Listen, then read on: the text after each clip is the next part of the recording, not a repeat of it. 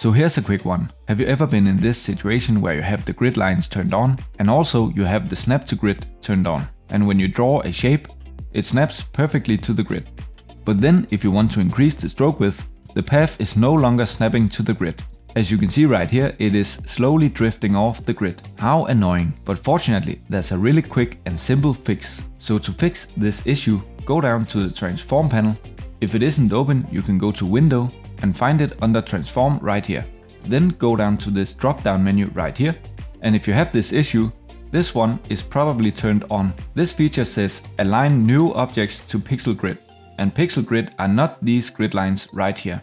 So if you have this check mark right here, click one time to turn off the feature. But as you can see, when I increase the stroke width, it is not fixed yet. And that is because we need to turn off this feature before we draw our shape. So what we need to do is simply to delete our shape, draw a new one, and now we can adjust our stroke while still snapping to the grid.